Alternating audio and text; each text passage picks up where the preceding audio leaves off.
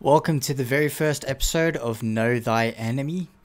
Um, this is for my Rhinar guides. If you are playing other heroes, this might also be beneficial to learn how to beat Rhinar as well. But this is mainly for the Rhinar mains who want to up their game as far as versing certain heroes go. The very first uh, episode will be of versing Claws Levia, or just Levia in general. Now, Levia a few things you need to know before going into versing Levia. One thing is that you are going to be versing a hero with a lot more health than you, so usually they'll be running Skullcap, their Carrion Husk, and the Scab Skin Leathers. So with this, I opt to play a, my full package of 9 defense reactions. This allows us to get further into the late game, it allows us to have a little bit more health. Um, even though the idea would be not to go into the late game with Levia, but usually that I've found with versing Levia is when you go late game into Levia, they tend to maybe misstep one of their attacks or they have to play a banish card, like they have to banish a card, which during the near the mid end game, um, they will have to like uh, rely on more banishing rather than more attack. So, along with this, I still go with my standard package of my skull cap, my tunic, my my scab skin leathers, and my Goliath gauntlet. In this game, it didn't come up, but usually use your Goliath gauntlet on the CNC turns. But for this, I used it as a finisher. So because Levia is a hero without any on-hit abilities, we are able to put Pulping into our list. So this is one of the cards you can put in that don't block, but this is also another matchup where you have to cut Gorganian Tome. Levia is known to run a Gorganian Tome. Um, it allows them to have an extra card in their banish zone, uh, uh in their graveyard for free, basically and we don't want to run into a matchup where we play ours first and then they play theirs, draw, allowing them to draw two. Also, on top of this, they are able to banish their Gorganian Tome before you're able to trigger your Gorganian Tome to draw two. So, when versing Claws Levia, one of the biggest things you need to worry about, of course, is their Blood Rush Bellows turns. Their Blood Rush Bellows turns usually revolves around swinging for 5, swinging for 5, and then swinging with another attack, um, which more than often is a card that they have to banish with. The way I personally play around this is I play, as I said, a very defensive build, um, uh, allowing me to play a bit more combo with other cards. Um, so blocking three cards from your hand. So the first attack, the second attack, and the third attack. If they don't swing with the third attack, then um, you're able to just uh, like have an extra card in hand. But if they do end up swinging with a big attack on their second attack because they don't have enough resources for their second claw, you would block two of your cards. Okay. So when we verse Levia, we need to be a lot more combo heavy. We cannot rely on uh, simple cheesing out your opponent with reckless swings. We can't um, rely on just barraging beatdowns. We need to set up a lot of different moving components. The way I do this is by arsenaling cards, or like if I just have one card in my hand, I'll just arsenal card and end my turn, which allows me to play into more late game kind of build.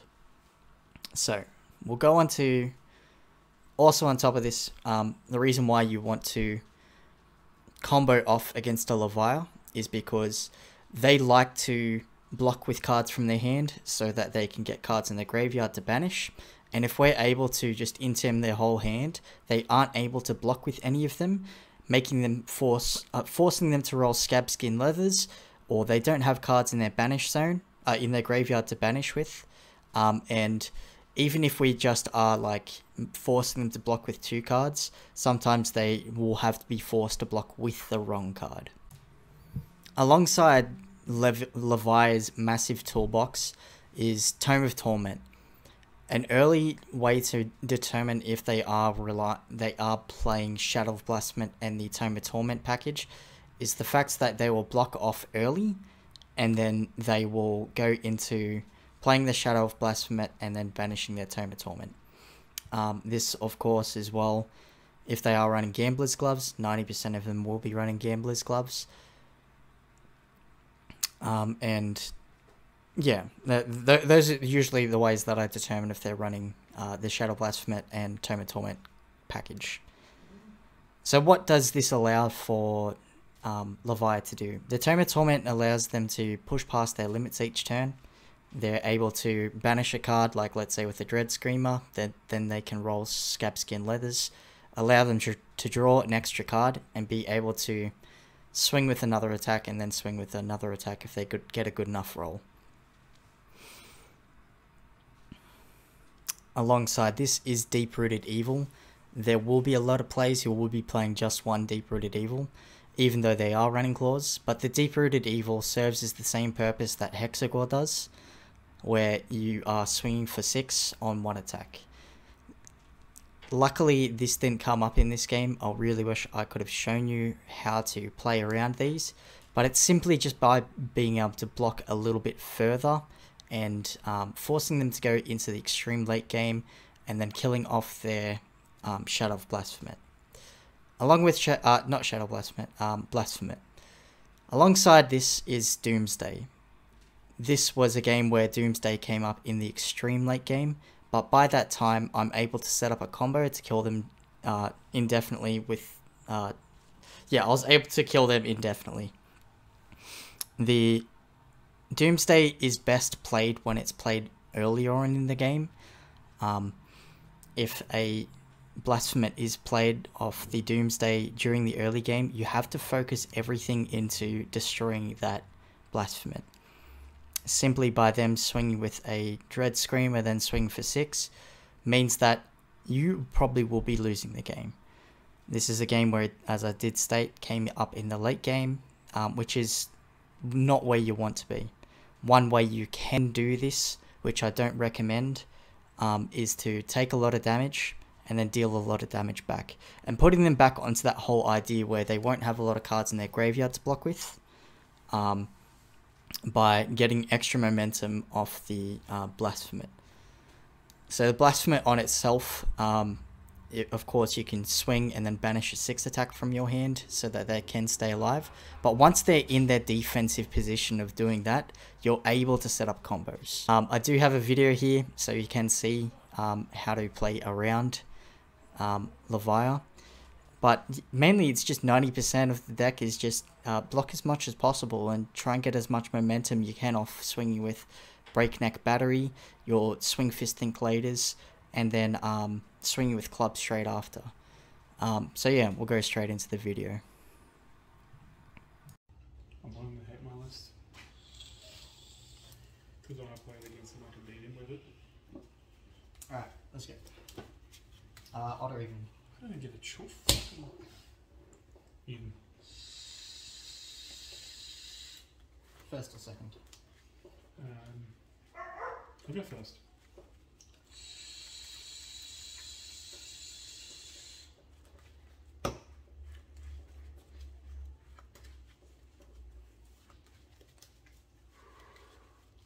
Just cut out all the chuff noises. This deck makes me think again.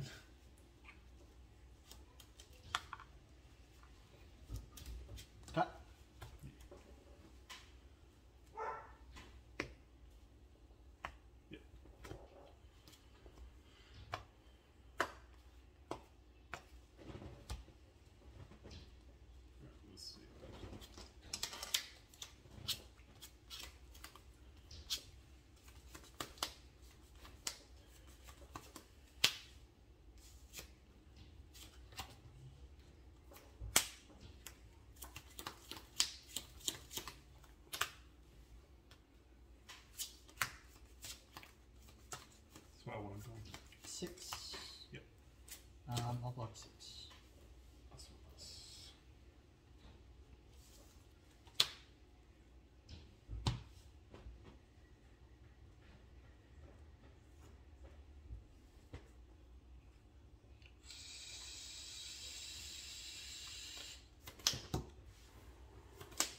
I'm just gonna blow it away from camera.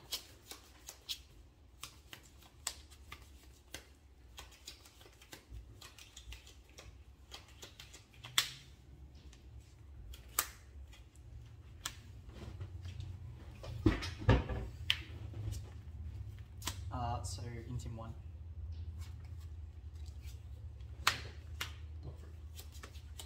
Take six. No, that's um, pitch on Goldie, drop screamer. Vanish break. This is six, so go again.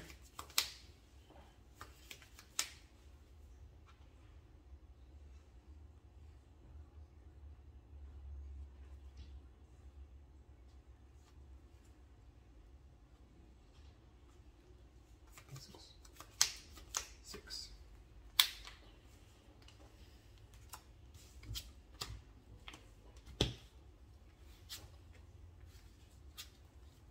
Two.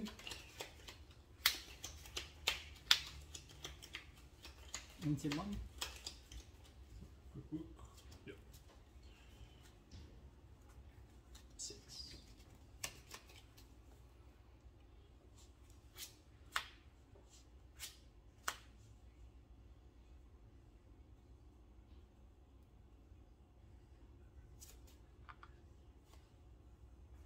Block six. Pass.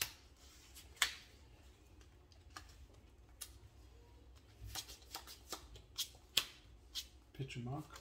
Mm-hmm. Pitch styles. Mark. I'll block three. Take three. Yep. Tunic. Actually, that goes there.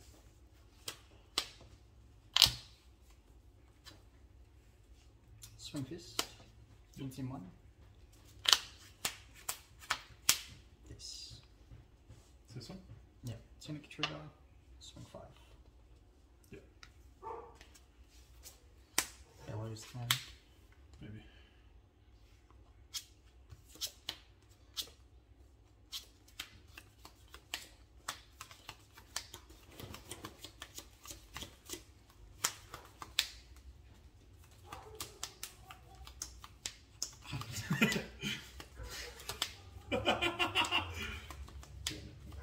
Do it to you.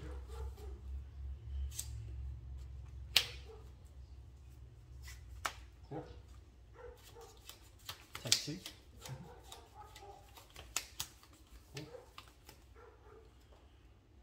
Take two.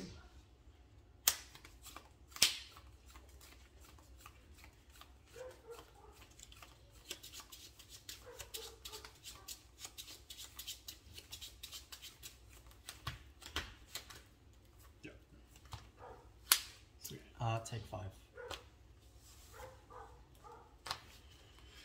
Pass. Uh, tunic ass pass. Did I just? No, I didn't.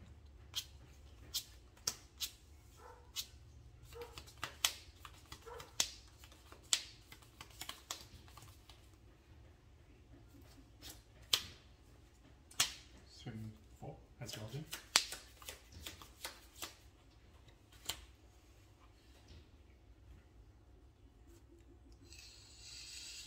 Four. Yep.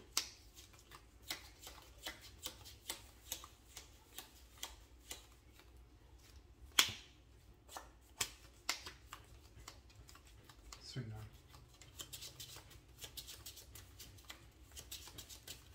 Uh, these two should be in there.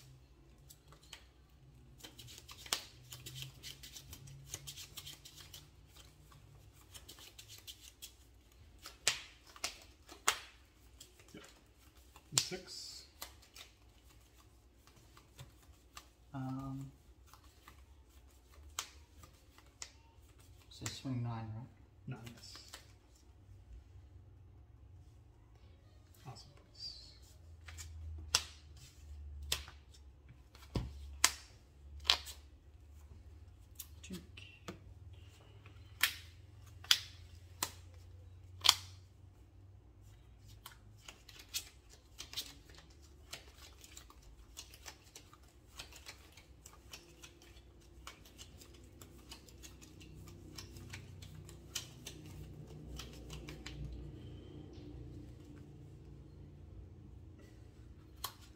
then I'll go pulping.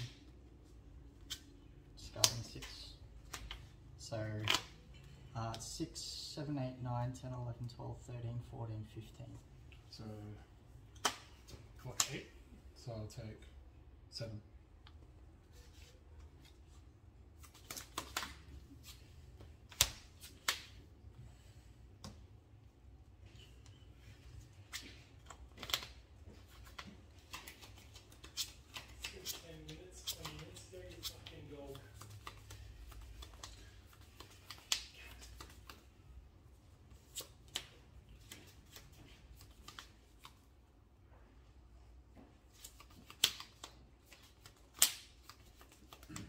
Scream for 4.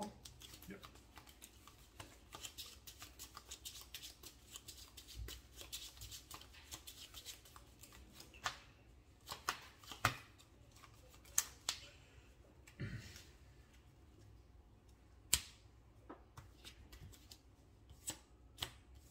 I'll block 2, take 2. Scabs. Mm-hmm. Six. So three. Grab them.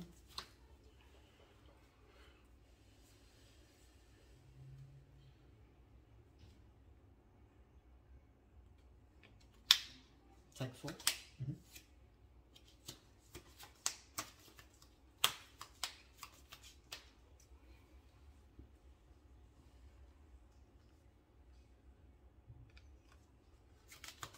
Uh, take 4.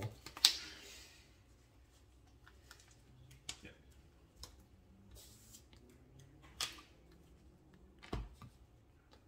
Tink.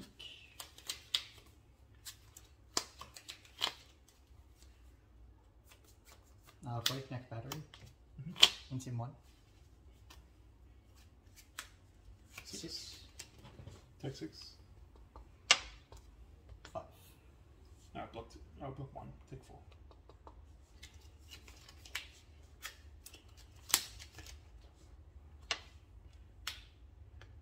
Shadow puppetry. Shadow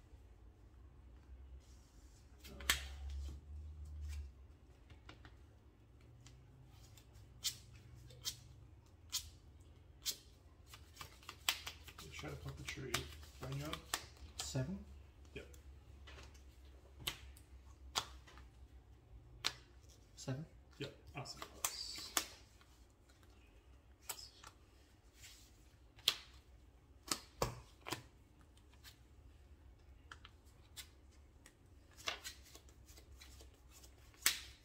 Four. Four. Last pass.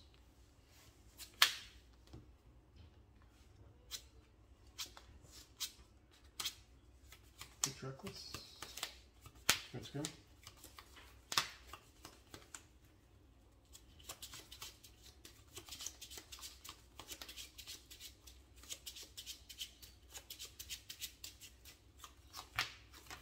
Let's go again.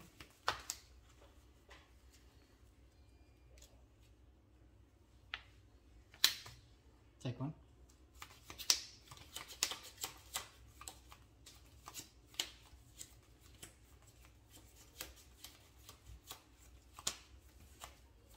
CNC. Six. Awesome. Let's You've blocked with this, right? Yes. Four.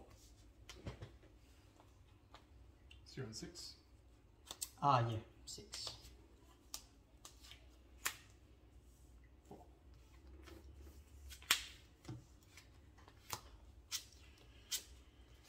Fog. Have you played yours? No.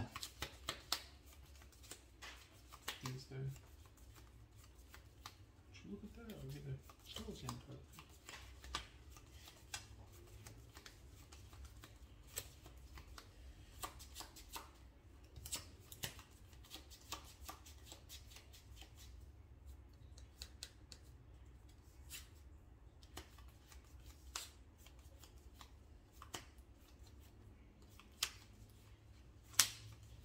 Six.